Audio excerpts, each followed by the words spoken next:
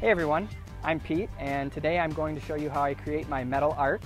I am going to make a bear that hangs on the wall out of 12 gauge steel and throughout this video I'll explain the process of how I create it. So the first step is to get a design and for this specific project I drew bear on a big piece of paper, cut it out and then I'm going to trace it on the metal and that will be the line that I cut around with my plasma cutter.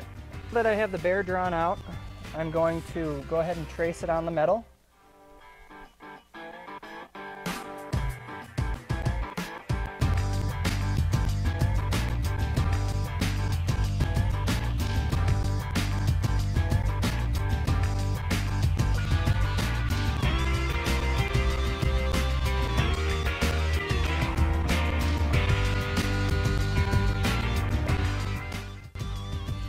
now I'm at the point where I will use the plasma cutter to follow the line that I just drew to go all the way around the bear.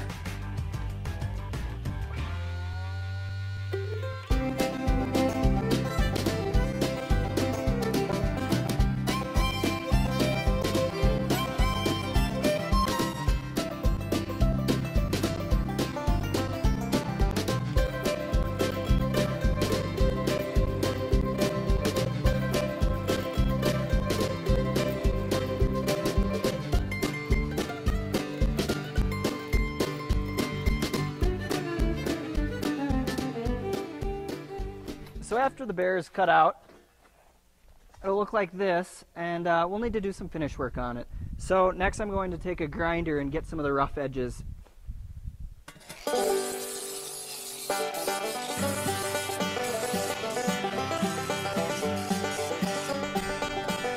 Now I'm just welding on a couple brackets that I custom made so that we can hang this bear up when it's finished.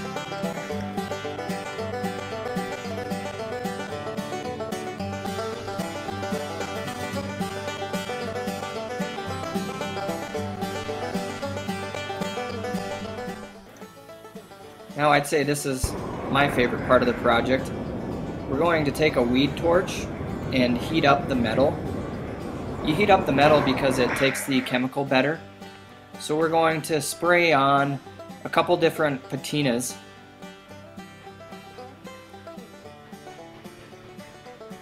Now these patinas will help change the color and give it some variations of browns, reds, and blacks.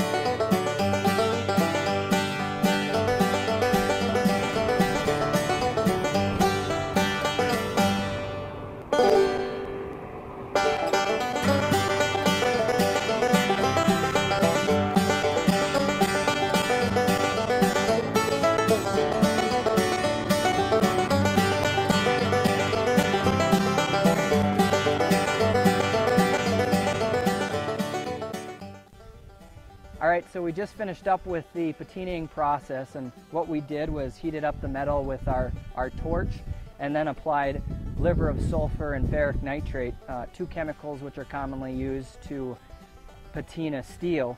It gave it all sorts of variations in color. We have some browns, maroons, oranges, reds, and, and even some blacks.